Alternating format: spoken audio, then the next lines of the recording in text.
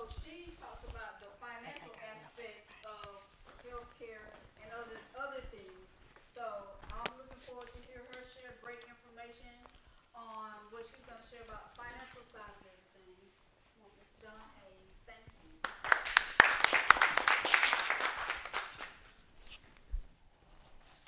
How everybody doing today? All right.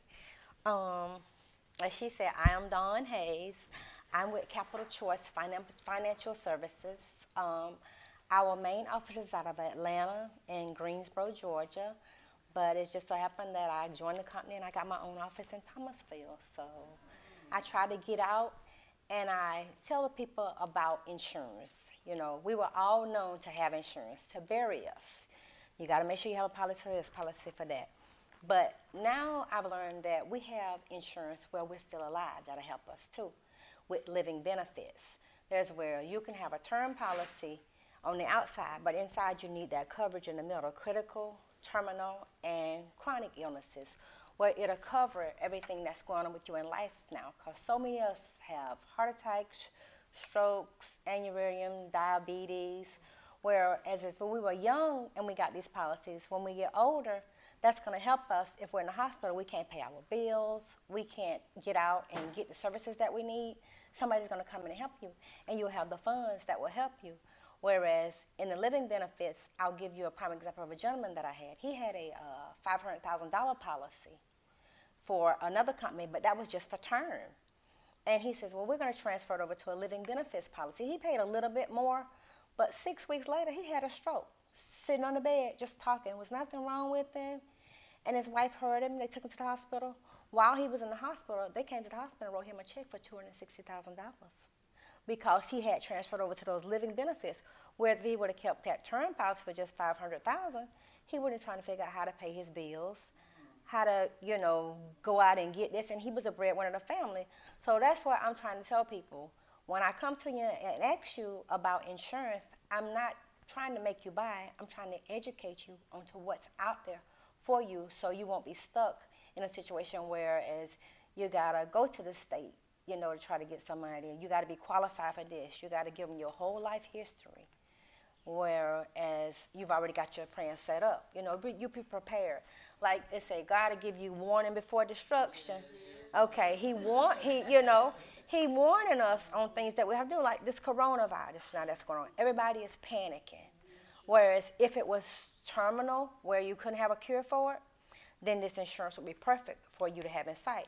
It's a terminal illness, so they're giving us a certain amount of days to live, a certain amount of months to live. You can get your whole policy. It's your policy. And you can you can do what you want to do with it. You can pay for your own funeral. You can take your family here. You can do this. You can do that. That's your money. You don't have to wait until you die to get it. So that's how we say about living benefits. And we also do um, show you how to do your debt reduction, your income. Budget your money where you won't be in so much debt. You can put it all down and you pay it off faster and show you how you can save money. And then you can start investing because we do investments too. Well, so where your money can grow. Like now, everybody trying to move their money here and move it there because they're scared to move. But if you put it in an uh, indexed annuity at a 7% interest, I think, you're going to lose what's growing, but you're not going to lose what you put in automatically. That's your money. It's going to stay there. So you're secured with that part. And what um, we work with five different companies, whereas you can get a $300,000 policy with no blood work um, for um, long as you put everything down. Be honest with me. I can actually, even if you have diabetes or heart problems, long as you take your medication, you manage it, and everything's under control, they'll give you living benefits. Because one day you're going to get to that chronic part of your life. For as myself, I have rheumatoid arthritis. So I couldn't get the living benefits because I was diagnosed, then I would have been covered. But I am controlled under my medication and stuff. So as where if down the line it's stabilized, I can go back and I get living benefits because rheumatoid arthritis is crippling. So hmm So I'm gonna want those living benefits. So when I get to the point where my kids are gonna have to take care of me, I don't want them to be a burden and have to get all their money. I got money coming in where they can go do this for mom, and I don't have to be in a nursing home somewhere. I can be at home with them. So it's a lot that the living benefits help you out with. It's just not insurance. It's income protection. It's building a future, you know, for your kids. And we have another policy where you can get up to two hundred and forty-nine nine nine nine thousand for with the living benefits.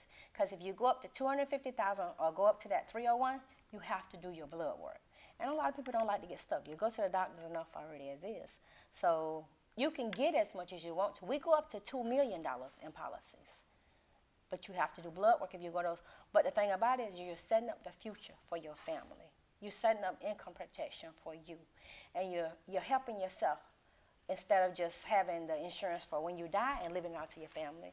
You got to have it for while you're here to help your family. So that's what we do at Capital Choice Services. I don't have a long speech to go on, you know, to tell everybody, but I gave you those books.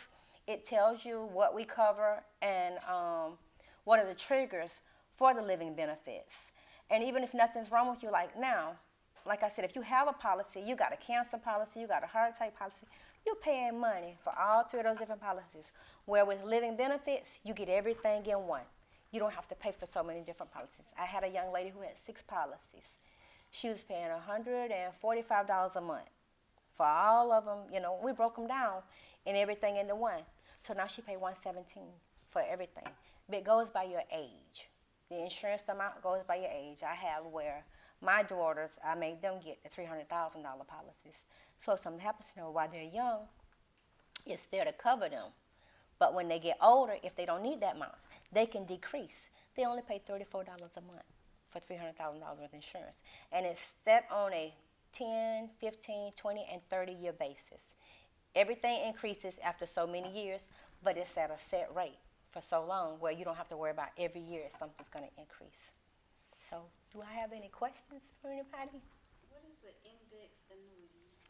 Okay, an indexed annuity, it's a um, fixed annuity, whereas, like I said, you put your money in like a 401k. It's almost like a 401k, but people move their money around because, like I said, with the way the economy is right now, Wall Street money's dropping. People are losing money. So you put it in an annuity, you can move it into another one and won't be charged. Or when you move it, the money that the interest that has grown on it, if you lose that, that's fine. But your money is safe with that one. It's like it's fixed, it's there. You're not going to lose people losing money. So you put it in an annuity, you can move it into another one and won't be charged. Or when you move it, the money that the interest that has grown on it, if you lose that, that's fine. But your money is safe with that one. It's like it's fixed, it's there. You're not going to lose that part. So you're kind of on the safe side. Whereas if you just put it in an um, annuity and it's just growing your money, you're going to lose your money. They're going to tell you how much money that you're going to get paid. But that's my money. Why are you going to tell me how much money I can? It's kind of like whole life insurance. We've all been said, you get whole life insurance, you're going to get money on top of that. And those first two years in the whole life insurance policy, the money that you're paying in goes all to the insurance company. And if something happens to you, you're not even covered. So then when you start to build up cash value on that money, it takes so many years, you got to borrow your own money and you got to pay your own money back for your policy to be valid when you um die. For your yes, ma'am. I'm sorry to you, but I'm dealing with that now. I'm dealing with that, uh, uh, with this whole life, you know, they, they, t- the, the insurance company told me, you can get the dividends of your whole life policy, they done bill up, you can get six hundred dollars. So we go in there and just get the money and then go on vacation, but they didn't tell me, uh, that the deposit, what it is, the policy go down. It goes time you go. down. Plus, They charge you me I owe interest. Interest, I'm paying, On your own money. I'm right here where I need to pay thousands of dollars back, so they didn't give me anything. Yeah. Wow. What they did, they cut and broke policy down from where I started out. Mhm. Plus, I got to pay the interest back on something I was already paying. So I'm in debt with insurance I've been paying on for 40 or 50 years. That's right. and that's how they do us. That's why everybody say whole life is good. No, whole life is not good. It's, it's not. It's a, it's really a ripoff. It's kind of like you getting a loan. If you didn't want to pay that money back, they did reduce your policy, but they still charge you that interest every year on your own money. Well, why they don't? They don't. I didn't, I didn't think, I didn't think you get min, interest, I mean, I didn't thought they charged you, they said this your money, you don't, but you don't have to pay interest later on, you get all these letters saying the interest, and it go up every year, you don't pay. That's right, and that's how they get us, cause we all looking for a way to get us some money. Yes, 'cause you But- got nineteen ninety something, now we in two thousand, I got to go pay back from nineteen, oh, this, this month I got to pay back. Okay. yes, sir. Uh, just want to add on to that, what she was saying, the sad thing about it is that you paying for two, but when a person dies, they only get one. That's right. That's right. Because he's right. When you you paying for two, that money, that cash value that you build up, you have to sell that cash for value in order to get your death turn. You get your you get you keep they keep the cash value that's built up. Oh, And and you get the death term when your family passed. So it's benefiting them altogether. But he's right, you're paying for two instead of one. yes. In her situ, in her situation, how can we fix that? Um, how old are you? Don't mind me asking. I'm seventy-one. Seventy-one. Okay. You have. We, we'll we'll talk about your medical issue or whatever. But we can look at a term policy for her, or we can look at living benefits for you. It all depends on your medical situation, because we go up to age eighty-five. So Uh, she's lost, she's just lost that. Yeah, she's just all that money she's paid in. They got So they. even with, even with the interest that she has to pay back, She will we just cancel that out. What she do, if she's got any cash value on that left, you can say you want to surrender that policy, and whatever cash value you have built up, they'll give that to you.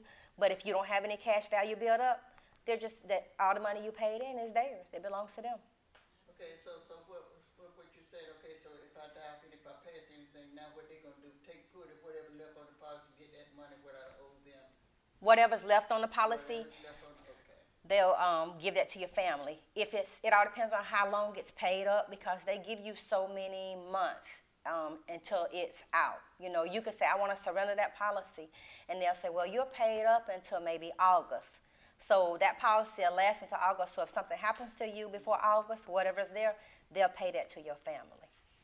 But yeah, whatever you haven't paid them back, whatever you haven't paid them back, um, they'll take that from your policy. They deduct it from your policy. Twenty-five thousand is twelve dollars and ninety cents. For fifty thousand is twenty-five dollars and forty cents, and that's just that one payment for all nine children, and they're covered. So, yeah, you can put all of them on one policy because it's hard. I had a, a grandmother who, yes, she had her son and she had her grandson and their baby, and she put she owns his policy. And they'll ask me, well, why does the grandmother own the policy? Because that's her grandson. She wants to make sure that he is covered. She has insurable interest. Insurable interest is that you care for that person. That's your family. You need to make sure they're covered in case something happens with them in life. So yes, you can um, get your grandchildren, and if they, they can be called riders on your policy or on their parents' policy, and they're covered. You know, because it's just so much happening today. Like I said, the children, the adults, the older adults. If you're getting, if you can insure nine of, uh, children, how many grandchildren can you add? You can add them up under the bottom. Uh, it's just like that. Nine children. Nine, nine. It's gonna be each each one's different. You got nine here. That's twelve dollars and ninety cents for twenty five thousand. Then you got another nine. You can just you know they're riders for each policy. So. Hmm So, but yes, um, I just think it's great. I think living benefits is better than somebody knocking on our door and selling us ten, fifteen thousand dollars worth of insurance, and then we have the funeral and everybody show up with the potato salad and the chicken, and the plates and the cups, and then I'm after all that's over, I'm still worried. Well, how am I gonna get live? How am I gonna have some money to do everything else? So that's where it's good to get a large policy instead of just enough to bury, because I don't look at it as term insurance or life insurance. I look at it as love insurance, because your family, that's your future. You know, when I look at myself, how I was, if I knew I was going to be selling life insurance from where my path and journey had God led me, I would have never thought that I'd be here. Because I did CNA for 15 years. Then I graduated from phlebotomy in December of 18. And I started selling insurance in October of 2018. And I did my clinicals, and I never went back to phlebotomy. I love this. I love, excuse me, I'm getting, I love educating our people on what's out there for us. I don't want to force you to get it. But if you need questions about it, ask me about it, please call me. You can reach me at 229 236 2247. My cell phone number is 941 685 0559. And I'm in Thomasville on Broad Street and 125 North Broad Street in Suite 215. Yes, ma'am. Yes, um, my cards are in the um, book there, everything. But if you have anybody that you want to refer, anybody that you know needs them, give me a call. We'll go over. If you can't come to me, I'll come.